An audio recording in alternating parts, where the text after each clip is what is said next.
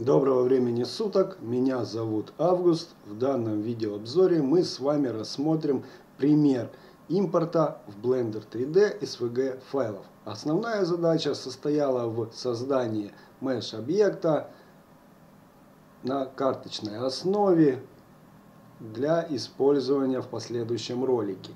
Поскольку модель Крыма в 3D сделать сложновато, мы его импортируем из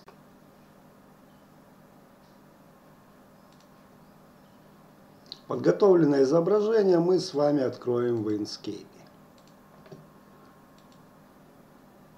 Внедряем стиль раста, получаем исходник. Как видим, исходник растовый содержит цвета и полутона RBG. Для этого в контуре векторизируем растер. Получаем всплывающее окно, согласно которому мы можем создать, оптимизировать, доработать SVG файл. Обновим для предпросмотра сокращение яркости. Более э, упрощенная версия и есть сокращение яркости. Если мы хотим убрать фон, э, манипулируем шагами яркости, оставить в свете, но в градациях серого у нас получит преимущество дополнительные курв векторы, которыми мы сможем впоследствии манипулировать. Вот мы видим исходное изображение превратилось в векторную основу. Сохраняем. Можно сохранить как простой SVG, можно как Inkscape. Мы сохраняли как простой.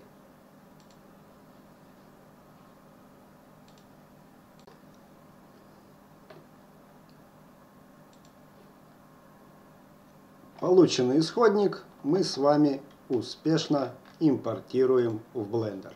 Импорт SVG. Выбираем наше изображение и получаем соответствующий результат. Как видим, с градациями серого сохранение дало свойственный результат. Мы можем сдвинуть внешний контур и получаем дополнительные векторные основы, что вполне очень удачно. Соответственно, мы можем в подразделе Curve, Curve манипулировать значениями и экструдом. Можем экструдировать изображение, перенести в 3D, в 2D.